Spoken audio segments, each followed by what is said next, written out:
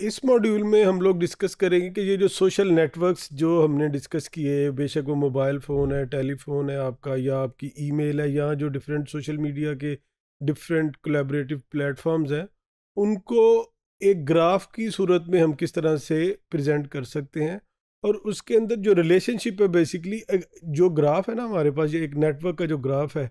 वो that is the best representation की जो डिफरेंट आपके जो नोड्स हैं, जो डिफरेंट एंटिटीज़ हैं within your social network वो किस तरह से एक दूसरे के साथ कनेक्टेड हैं? और फिर इसके डिफरेंट फॉर्म्स हैं कि वो जो एक फ़र्ज़ करें, वो अगर ट्राइंगल बनती है तो वो कंप्लीट है या ओपन एंडेड है या एक वो क्यूब बनता है। There are so many possibilities कि डिफरेंट एंटिटीज़ या डिफरेंट नोड्स जो आपके एक नेटवर्क ग्राफ के अंदर हैं, वो किस तरह से एक दूसरे के साथ कनेक्टेड है? And you will be pleasantly surprise कि जब आप डिफरेंट स्टैटिस्टिक्स के जो मॉडल्स हैं या कोई आपके कैलकुलस के एल्गोरिदम्स वगैरह जब आप इनके ऊपर अप्लाई करेंगे, और वो कितनी रिवीलिंग इन्फॉर्मेशन लेके आते हैं द हिडन पैटर्न जो हैं इन नेटवर्क्स के अंदर आई एम श्योर कि वो आप लोगों के लिए एक बड़ा ज़बरदस्त सरप्राइज़ होगा। और वो एक इंटरेस्ट भी क्रिएट करेगा आपके लिए कि किस तरह से ये चीज़ें जिसको हम लोग I mean as a student let me you know admit कि मैं जब स्टूडेंट लाइफ में था तो मेरे लिए ये अंडरस्टैंड करना या इस चीज़ को रिलेट करना स्टैटिस्टिक्स के जो डिफरेंट मॉडल्स हैं या डिफरेंट डिस्ट्रीब्यूशन हैं, और जो आपके कैलकुलस के जो डिफरेंट एरियाज़ हैं, फ़र्ज़ करें इंटीग्रेशन है या डिफ्रेंशिएशन है, कि ये चीज़ें किस तरह से प्रैक्टिकल लाइफ में एप्लीकेबल हैं। बट आई मैं ये I would like to say you are lucky enough कि आप लोग at early stages of your career आप लोग इन चीज़ों को जो है ना कंप्रीहेंड कर सकेंगे कि और आपको उनकी जो प्रैक्टिकल एप्लीकेशन है, वो भी आपकी समझ में आएँगी। और आई एम क्वाइट कॉन्फिडेंट कि with a little bit of effort आप ये सारी चीज़ों पे you will become an expert very soon जब इसमें के, जैसे मैंने बताया कि कई तरह की जो है ना, वो हो सकती हैं पॉसिबिलिटीज़ अगर आप इस ये जो ग्राफ्स है, ये दो तरह के ग्राफ बेसिकली आपको दिखाएँगे एक में एक सेंटर है। जैसे अगर हमने, अगर आपको याद हो क्लस्टर्स की एग्जांपल दी थी और क्लस्टर का एक सेंटरॉयड था या एक सेंटर था, एक क्लस्टर का। इस तरह की जो सिचुएशन है, ये जो नेटवर्क्स हैं, ये जो इसका सेंटर है, इसको आप इस तरह से देख सकते हैं कि ये एक जो इंपॉर्टेंट लोग होते हैं, आपके माशरे में सेलिब्रिटीज़ होती हैं, जैसे प्लेयर्स होते हैं, आपके ये जो एक्टर्स होते हैं फ़िल्मों के, वो लोग जिनकी बहुत ज़्यादा फॉलोइंग होती है तो वो they play a central role और वो अपना, उनका जो सोशल नेटवर्क होता है, जब उसको जब आप ग्राफ करते हैं तो you will find them in the middle of it उससे हटके अगर आप देखेंगे तो आपको कुछ इस तरह के भी नेटवर्क या जो आपको उनकी जो स्प्रेड है या क्लस्टर है, वो इस तरह से नज़र आएगा कि वो उसमें, उसको कई शेप में हो सकता है। और आपको ये याद होगा कि जब हमने एक और इसमें जब हम मशीन लर्निंग वगैरह के जो सब्जेक्ट्स में, जब हम क्लस्टर्स के अंदर जब हम डीप लर्निंग या और कुछ इस तरह के कॉन्सेप्ट को जब हम लोगों ने स्टडी किया था तो एक आइटीरेशन में फ़र्ज़ करें आपको एक क्लस्टर नज़र आया, फिर आपने जब उसके अंदर दूसरी दफ़ा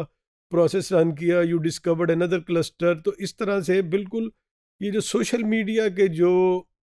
आपके डिफरेंट प्लेटफॉर्म्स हैं, वो भी इसी तरह क्लस्टर्ड है कि एक बड़ा क्लस्टर है, फिर उसके अंदर छोटे क्लस्टर हैं। इसकी एग्जांपल ऐसे ही फ़र्ज़ करें, आप इसमें देखिए कि this could be your centre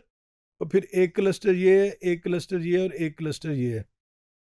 right? और ये इसके आप you can give so many examples कि ये चीज़ किस तरह से आपकी लाइफ में एप्लीकेबल है। आप इसको centre of the cluster you can consider it your university आप इसको अपना स्कूल कंसिडर कर सकते हैं। फिर आप इसके अंदर जो डिफरेंट और जो ग्रुप्स हैं they can be different research topics like minded people या जो डिफरेंट लोग, फ़र्ज़ करें कि एक ये बायोलॉजी के लोग हैं। इनका एक अपना क्लस्टर ये आपके स्टैट्स के लोग हैं, ये कोई फिज़िक्स के लोग हैं।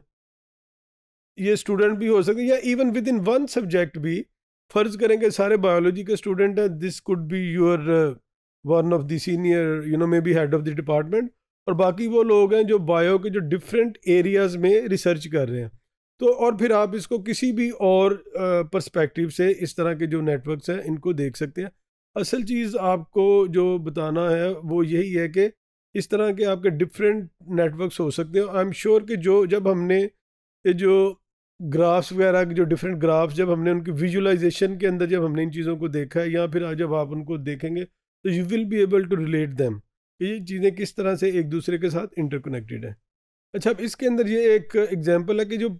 पेयर्स बनते हैं ऑब्वियसली एक पेयर बनता है, फिर आप उसको एक्सटेंड करते हैं। ये ऐसे ही है कि अगर फ़र्ज़ करें आपका फेसबुक पे एक अकाउंट है I am sure you must be having at least Facebook क्योंकि ये तो आजकल सबके पास है, या इंस्टाग्राम का तो वो फिर आपको जो लोग फॉलो करते हैं, या जो आपके उस, आपके फ्रेंड्स हैं, कोई और उनका फ्रेंड है तो वो भी आपका फ्रेंड बन जाता है। लेकिन जो एक बेसिक पेयर है it has to be there कम अज़ कम दो लोगों के दरमियान एक रिलेशनशिप जो है, वो ज़रूरी है। तो अगर हम यहाँ पे देखें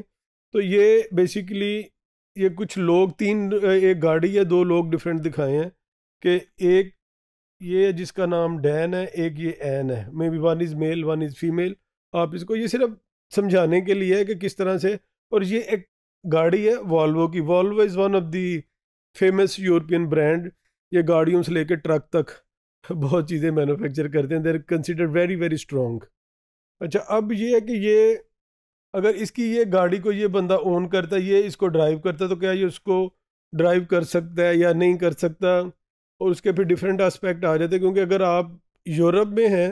तो अगर आपकी इंश्योरेंस है उस गाड़ी के साथ एसोसिएटेड तो आप वो ड्राइव कर सकते हैं। अदरवाइज़ जो बंदा इंश्योर्ड है, उसकी लाइफ इंश्योरेंस जो भी इंश्योरेंस पॉलिसी है तो वो उसको कर सकते हैं अदरवाइज़ वो नहीं कर सकता। अब ये इसने कहा जी कि ये जैसे इनका रिलेशन पर्सनल रिलेशनशिप भी बताया गया है। दोनों का एक दूसरे से ऑब्वियसली क्योंकि वो इकट्ठे रहते हैं तो दे लव ईच अदर और फिर ये कि ये इसकी गाड़ी है, ये ड्राइव करते तो इससे हमें पता क्या चला कि एक रिलेशनशिप है, दो लोग हैं और एक एक प्रोडक्ट है। जैसे यहाँ पे बताया कि लोगों का और प्रोडक्ट्स का आपस में रिलेशनशिप होता है, और आप जब इसको और थोड़ा सा एक्सटेंड करते हैं तो देन यू विल अंडरस्टैंड कि जो कमर्शियल एस्पेक्ट है, जब आप एडवर्टाइजमेंट्स आती हैं डिफरेंट सोशल मीडिया पे तो वो कैसे रिलेट करती हैं और कैसे जो एक चीज़ होती है, जिसे कहते हैं मल्टी लेवल मार्केटिंग ये जो आपके सोशल नेटवर्क्स हैं, या जो इनके जो ग्राफ्स हैं, इन पे ये वाला मॉडल बहुत ज़्यादा एप्लीकेबल है कि आप एक बंदे को मार्केट कर लें अगर सक्सेसफुली तो वर्ड ऑफ़ माउथ से या पब्लिसिटी से ऑटोमेटिकली बाकी लोग भी इन्फ्लुएंस होना शुरू होते हैं इससे। तो इस तरह से ये जो सोशल नेटवर्क हैं, आपके ये काम करते हैं। उसी एग्जांपल को थोड़ा सा और एक्सटेंड किया है कि ये डिफरेंट एक गाड़ी है, फ़र्ज़ करे फैमिली कार है फ्यूल एफिशिएंट है हाई परफॉर्मेंस है स्पोर्ट्स कार है। अब इसमें फ़र्क क्या है कि जो डिफरेंट लोग हैं या डिफरेंट जो लोगों की प्रेफरेंसेस हैं, वो डिफरेंट है। अब फैमिली कार है तो आप डेफिनेटली तो आप ये कहेंगे, यार फ्यूल एफिशिएंट हो, मेरी जो गाड़ी है, ये फ्यूल कम से कम कंज्यूम करे। लेकिन जो एक बंदा जिसके पास स्पोर्ट कार है राइट right? उसका कंसर्न ये नहीं है। उसका कंसर्न एक डिफरेंट है। Maybe he is a fashion savvy उसका लाइफ स्टाइल डिफरेंट है उस बंदे से जो कि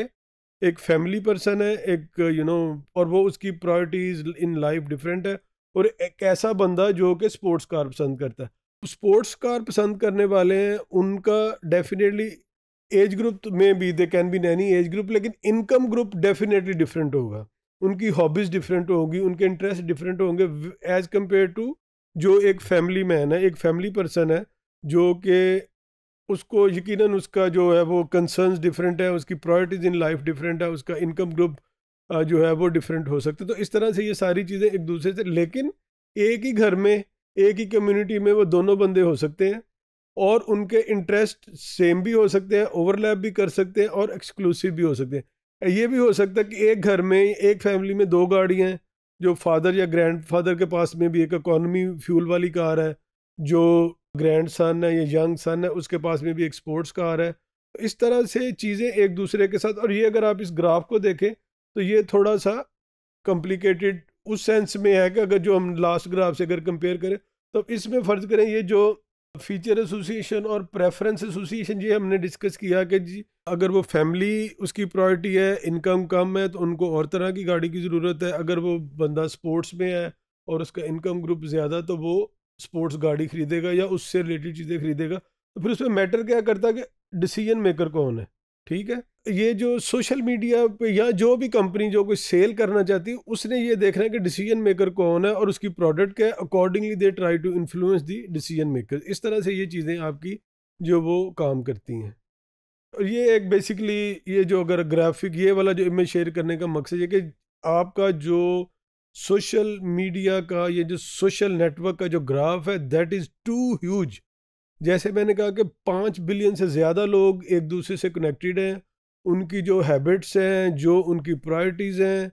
जो उनके, यू नो, क्या उसे कहेंगे कि स्पेंडिंग हैबिट्स, उनके बिहेवियर, वो सारी चीज़ें जो वो इतनी ज़्यादा डिफरेंट है एक दूसरे से but still somehow they are integrated here and there which इधर with each other either on based on the product और कोई सोशल इंटरेस्ट कोई, जो भी कोई ना, कोई कॉमन चीज़ है। और फिर यही हमारा जो ऑब्जेक्टिव यही है इस एनालिटिक्स का सोशल मीडिया माइन या माइनिंग सोशल नेटवर्क्स का। कि हम वो चीज़ों को डिपेंडिंग अपॉन दी इंफॉर्मेशन जो हमारे रिक्वायर्ड जो भी टारगेट है, उसको अचीव करने के लिए हम उनको किस तरह से यूज़ करते हैं और उसके अंदर से जो हिडन पैटर्न्स हैं, उनको हम किस तरह से आइडेंटिफाई करते हैं।